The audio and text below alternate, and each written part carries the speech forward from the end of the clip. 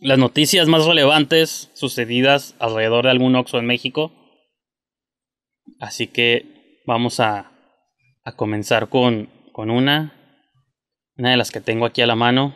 Livia, no sé qué opinas de esta sección antes de empezar. ¿Te motiva? Estoy intrigada ¿Estás y intrigada? me muero. Sí, me muero, me muero de curiosidad, me interesa mucho. Esta fue publicada por el periódico Correo, así se llama, periódicocorreo.com.mx. Eh, Celaya dice, conductor ebrio se estrella contra Oxo en el centro de Celaya por conducir ebrio. Ah. Dice, Ok, ok, todo está normal, entonces, todo dentro de... ahí les voy a poner la foto. Dice, por conducir aparentemente en estado de ebriedad, el conductor de un auto March se impactó sobre un establecimiento de la cadena Oxo sobre la calle Morelos, esquina con Pedro Figueroa, en la zona centro de Celaya. Y pues, debido a la, a la- derivado del aparatoso golpe, el vehículo tipo Nissan presentó severos daños. O sea, hablando del carro y no de la persona, ¿no? Así como... Pero ¿cómo quedó la persona? Dice, el conductor tuvo que ser trasladado, trasladado al nosocomio, que asumo es el hospital, pero tienen que usar siempre palabras. O sea, no pueden decir al hospital Claro. o emergencias, o no, el nosocomio. Ujú. Para su escucha val- como manicomio. pero- Ajá, y eso es lo que a lo mejor puede ser un llamado manicomio también. Ahí donde hubiera terminado mejor el conductor. Y pues nomás, elementos municipales arribaron a la zona y tomaron conocimiento de los hechos y bla bla bla. Nomás hay una foto del choque, no hay una del conductor ni de ni del después, pero eso Ajá. sucedió en Celaya. ¿Alguno de ustedes tiene algún familiar o amigo que sea dueño de un Oxxo o, o que pague? no? Me gustaría saber si tienen como aseguranza, porque creo que ese tipo de accidentes ha de ser lo más encabronadamente común, ¿no? Que alguien llegue por cerveza al Oxxo y que se quede dormido en el camino y, y, trene, ¿no? O sea, ¿verdad que es de lo más normal. Pues sí. Y que la vez pasada Yo digo hablamos. que sí deben. Hablamos vas? de un batillo de un picaba, ¿eh? Aquí ibas a decir, Livia, te interrumpí.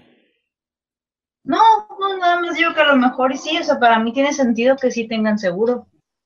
Así como, este, oye, Sí, sí, pues. Peter, este, ya sabes acá el, el Oxxo de, de Celaya, el de la zona centro. Ah, Simón, Pete, ¿qué pedo? Pues otra vez, güey, otra vez. Ah, ahí, te- ahí- ahí te mando al, al, al Inge, ahí te mando al Inge. Y ya, pues ahí me imagino es bien común todo, ¿no? Mira, tenemos Sí, algo así, imagino. Otra nota del manif- el manifiesto.com. Mm, buen nombre. Este, también así descubro muchas páginas de noticias, ¿no? No sé de dónde sean estos. Dice Orizaba. Si alguien sabe dónde está Orizaba, aquí en, Ahí, díganme claro, claro, claro. en los comentarios. Está en el punto, ¿no? Así El es. punto Orizaba. El pico, es el pico. Ah, el pico, sí, pues. Está mejor. Dice, someten asaltante originario de Orizaba. Ah, no, el, el asaltante es de Orizaba. No sé si pasó en Orizaba, pero- o el asaltante viajó desde Orizaba para asaltar un Oxxo de otro lugar, pero... Dice, un, ven- un vendedor identificado como Miguel Alberto fue sometido por personal de la cadena comercial Oxxo. Pues son karatecas los que tienen los. Oxxos. Cuando, atra- cuando atracaba la tienda ubicada en la 16 de septiembre, esquina con Díaz Aragón.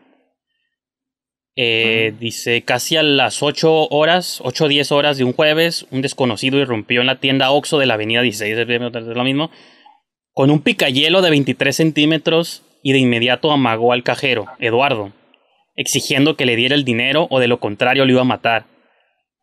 El- esta madre está como novela criminal. El, el criminal tomó una bolsa de plástico de la tienda Oxxo, donde guardó una botella de whisky, Jack Daniels, Brandy Torres, además 10 cajetillas de Malboro.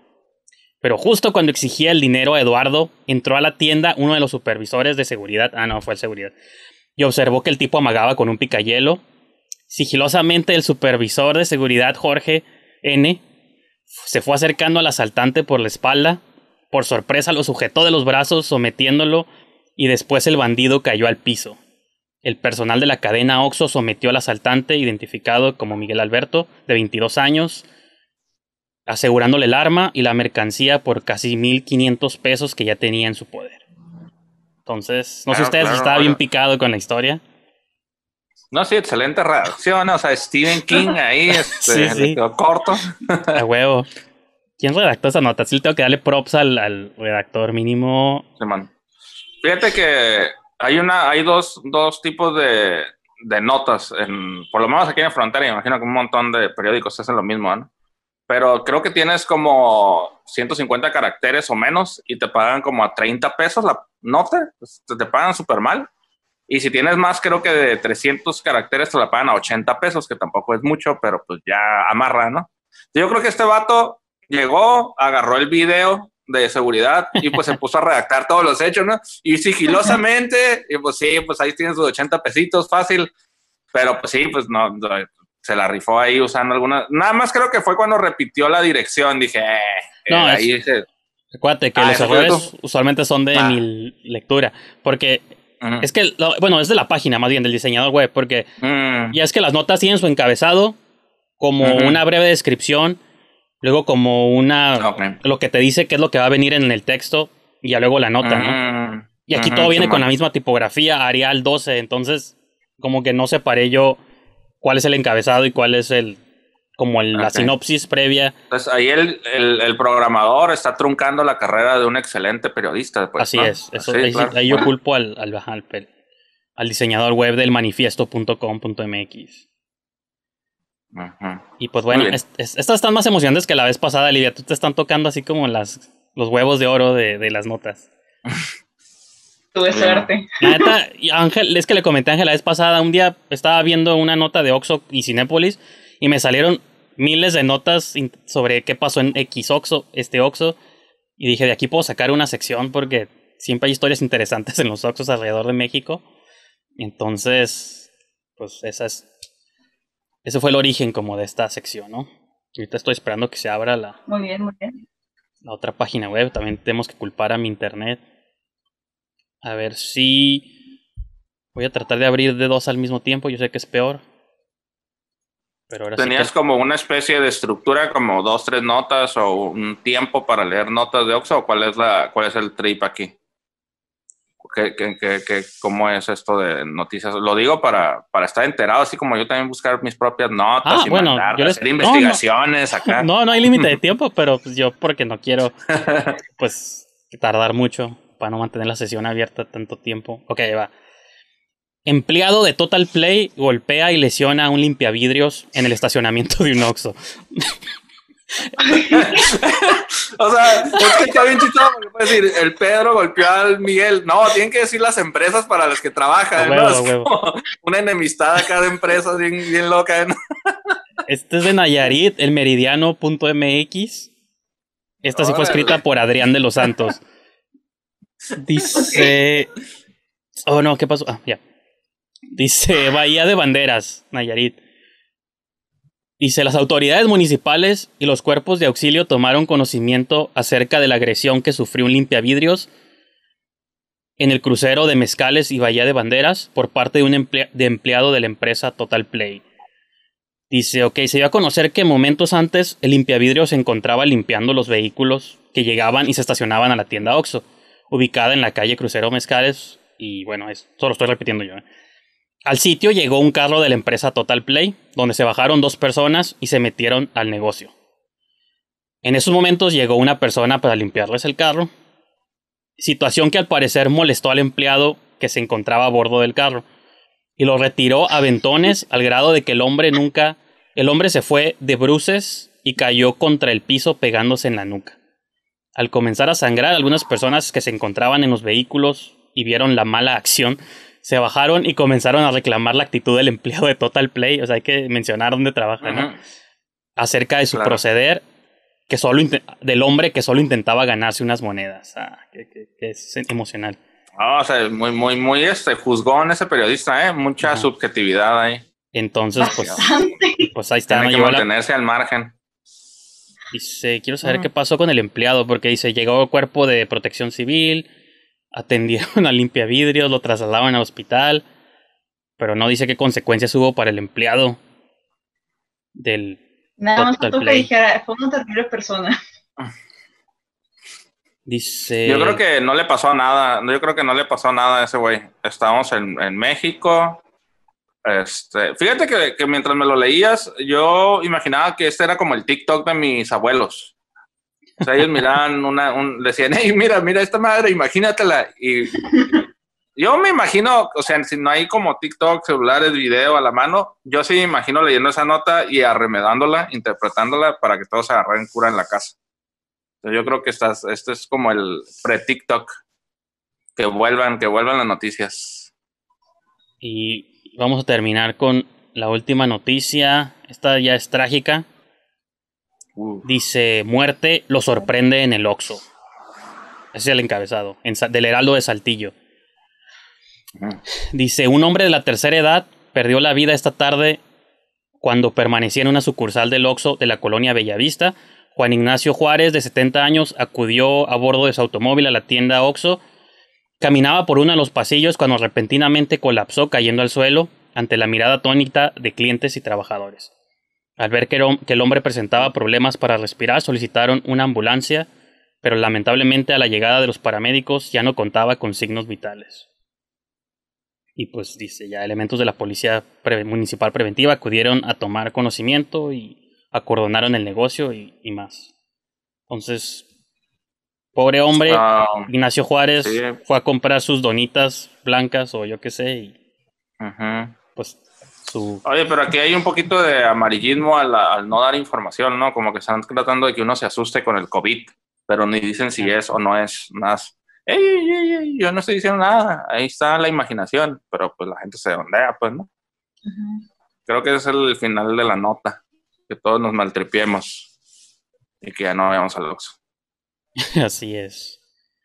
Yo pensé más como que dejaban el misterio, ¿no? De, oh, de qué, qué habrá sido, pero... Sí, sí como que le faltó. Sí, le faltó un poco. Sobre todo porque muy rara vez un periodista da seguimiento a la nota. Se supone que es lo que deberían hacer todo el tiempo, pero ya sabemos que no van a seguir investigando.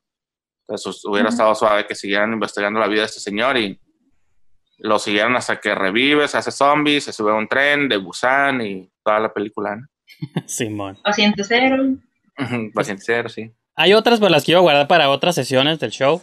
Aunque me preocupa que ya no haya para la próxima. Pero. Ah, siempre va a haber, bueno, vamos. Ok, entonces vamos a una última, una última. Dice. ok. El sol de Puebla.com.mx. Uy, se abrió como música. Ok, ya. Dice: El sol de Puebla finge convulsiones para evitar ser detenido. Había asaltado un oxo. Dice. Ampones asaltan tienda en bosques de Manzanilla y en San Rafael Poniente. Esto es en Puebla. Dice, dos tiendas de conveniencia fueron asaltadas este viernes en diferentes puntos de la ciudad. Solo en uno de los casos, gracias a la reacción del guardia de seguridad que cuidaba el lugar, se logró el arresto del responsable, el cual, para evitar ser llevado a Rancho Colorado, que sumo es una prisión o algo así, dice, al parecer fingió convulsiones, sin embargo quedó a disposición de las autoridades ministeriales. Dice, el mencionado, en el mencionado sitio, el guardia de seguridad privada que cuidaba el local enfrentó al ladrón, el cual fue sometido de un golpe. Instantes después llegaron los elementos de la policía municipal, quienes detuvieron al acusado, el cual fingió convulsionar para no ser llevado al Ministerio Público. Que a lo mejor estaba convulsionando el golpe que le metió al guardia de seguridad, ¿no? y pues nomás, o sea, eso fue el, ese fue el acto del vato a ver, pero pues, ¿cuál fue como... Pero ¿cuál sería como tu lógica? Aunque no te lleven a la cárcel, te llevarían a un hospital mínimo para revisar qué tienes, ¿no? Sí, a lo mejor nada se esperaba como confundir al, al, al policía y luego salir corriendo bien rápido, ¿no? Algo así. Pero estaba bien chistoso, como, si te atrapan, tú tírate al piso, güey, no hay pedo. Sí, que convulsiones, ¿no? sí, man. sí, se pasó de lanza. Y fíjense la descripción de lo, del malandro bueno, de los malandros, dice, dos sujetos de complexión delgada, altos y piel blanca. Entonces, para todos ellos que tienen prejuicios de que quién es el tipo de gente que asalta Oxos, delgado, alto, tez blanca, y yo voy a agregar guapos también. Entonces, no me consta, pero... Entonces, pues esa... Esa va a ser la conclusión de, de las Oxo News de la semana. Gracias por haberme acompañado y recuerden, cada 15 días las mejores noticias del país. Igual ustedes pueden buscar, ustedes manden sus noticias más relevantes del Oxxo. ¿Qué pasó en el Oxxo de la esquina de su casa? Todo puede ser posible en estos tiempos. Y... Una manera de conocernos es conocer las historias de nuestro Oxxo más cercano, ¿no? Pues Para saber qué tan peligroso está la colonia. Así es.